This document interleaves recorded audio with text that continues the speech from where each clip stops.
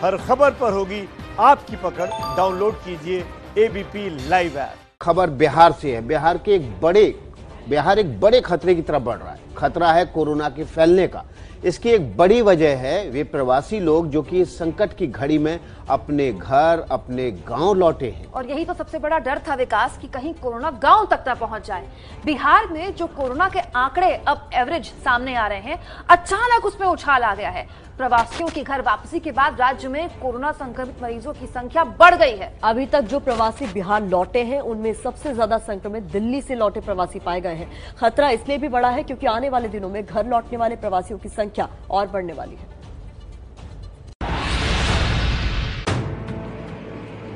कोई सैकड़ों किलोमीटर पैदल ही चले आए। कोई साइकिल से मीलों चलकर आया।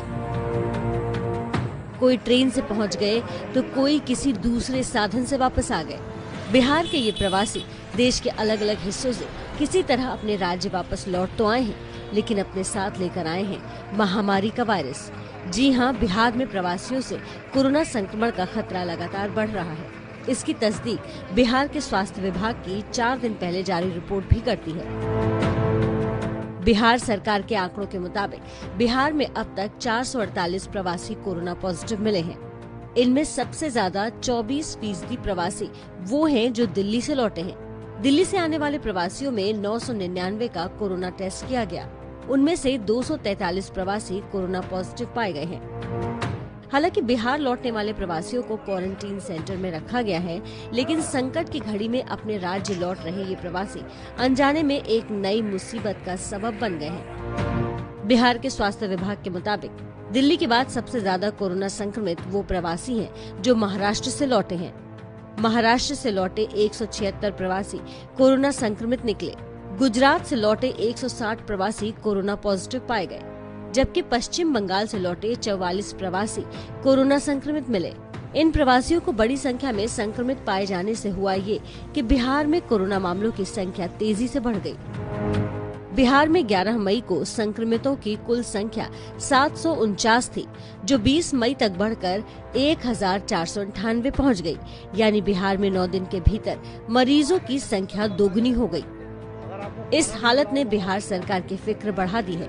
लिहाजा अब सरकार ने पूल टेस्टिंग का फैसला लिया है, ताकि बड़ी तादाद में टेस्ट हो सके। ये पूल टेस्टिंग कैसे होती है, ये आपको समझाते हैं।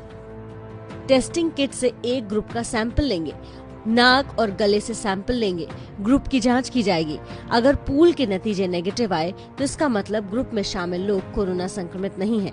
अगर ग्रुप की टेस्टिंग के नतीजे पॉजिटिव आए तो किट के सभी सैंपल की फिर अलग अलग जाँच की जाएगी। लेकिन बिहार में प्रवासियों की आमद आने वाले दिनों में बढ़ने वाली है। एक अनुमान है कि जिस तरह से ट्रेनें चलने लगी हैं, उससे 27 मई तक बिहार में प्रवासियों की तादाद करीब 15 लाख तक पहुँच जाएगी। तो क्या बिहार में कोरोना के पिक्चर अभी बाकी है?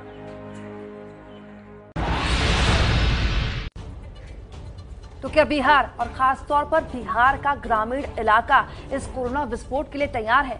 देखिए कोरोना के डर ने गाँव का माहौल बिगाड़ दिया और एक सिर्फ़ बिहार के गाँव की नहीं है मध्य प्रदेश की देखिए खबर है। मिसाल मध्य प्रदेश के टीकमगढ़ की है जहाँ तीन परिवारों को गाँव वालों ने घुसने नहीं दिया। देखिए तीन परिवार दिल्ली से आठ से दस दिन पैदल चलकर अपने गाँव तक पहुँच गए थे लेकिन गाँव वालों ने उन्हें बाहर ही रोक लिया। उनकी एंट्री बैन कर दी गाँव के अंदर। और ये कहानी केवल मध्य प्रदेश की नहीं है ये देश भर के गाँव की यही कहानी है। गाँव गाँव वालों को डर है कि घर वापसी करने वाले इन प्रवासियों की वजह से कहीं कोरोना ना फैल जाए। लेकिन गाँव वालों की इस डर ने तीन प्रवासी परिवारों के सामने मुश्किल पैदा कर दी।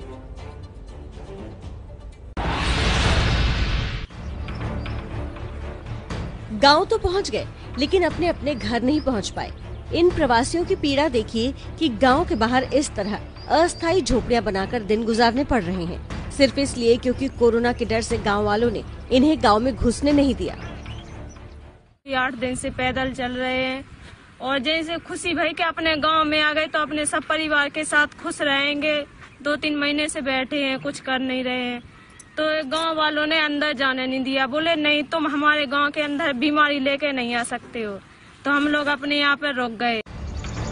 ये प्रवासी लोग दिल्ली से पैदल चलकर मध्य प्रदेश के टीकमगढ़ में अपने गाँव नगारा पहुँचे थे।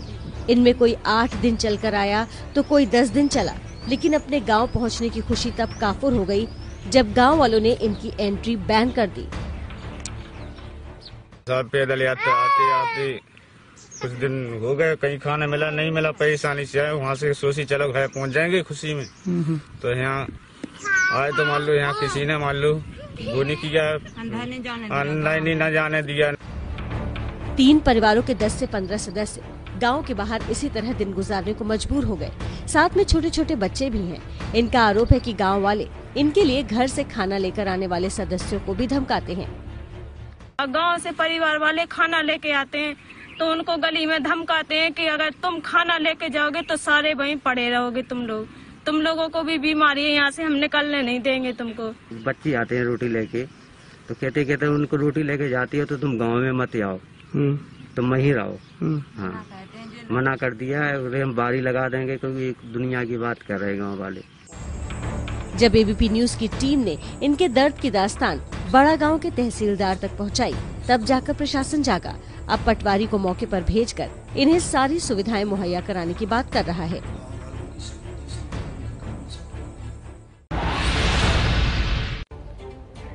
विकास, आपने ठीक कहा था, देश के हर गाँव की यही हालत है कि लोग गाँव पहुँच तो रहे हैं, लेकिन अपने घर जाने का मौका उन्हें नहीं मिल रहा है, क्योंकि चौदह दिन का क्वारंटीन का पालन उन्हें करना पड़ रहा है। हज़ारों किलोमीटर पैदल चले जब गाँव पहुँचे तो न कोई जाँच, न कोई क्वारंटीन की सुविधा। देखिए क्वारंटीन का नियम तो है, लेकिन इस गाँव में क्वारंटीन की कोई सुविधा नहीं थी। मामला बिहार के कटिहार का है, जहाँ क्वारंटीन ना किए जाने पर प्रवासियों ने सड़क जाम कर दी।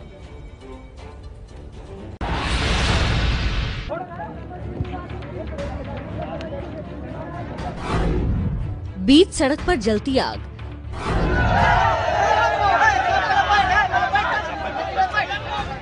आग के चारों तरफ़ गुस्साई भीड़ और भीड़ को काबू करती पुलिस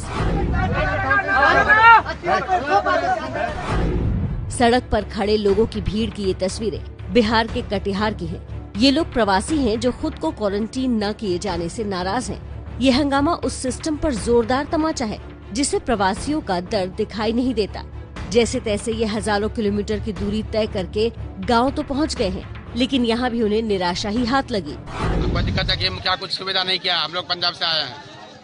हम कल ब्लॉक गए थे जाँच करवाने के लिए माँ ब्लॉक में बोला कि जाँच नहीं हो रहा मुखिया को फ़ोन किया मुखिया बोला कि हम जाँच का ठेकेदारी नहीं लिया। पंजाब से बिहार फिर गाँव से ब्लॉक और ब्लॉक से फिर गाँव लेकिन समाधान कोई नहीं। पंचायत में जितने भी प्रवासी मजदूर आए हैं उनका उनका सूचना प्रखंड प्रखंड सीओ को दिया और सीओ मजदूर को लेने तक लेने को तैयार नहीं है और बोला मेरे पास कोई सुविधा नहीं है। मुखिया जी गोल गोल बातें बनाकर पल्ला ज़रूर झाड़ रही हैं, लेकिन सच तो ये है कि इन प्रवासियों को उनके सवालों का जवाब नहीं मिल पा रहा है।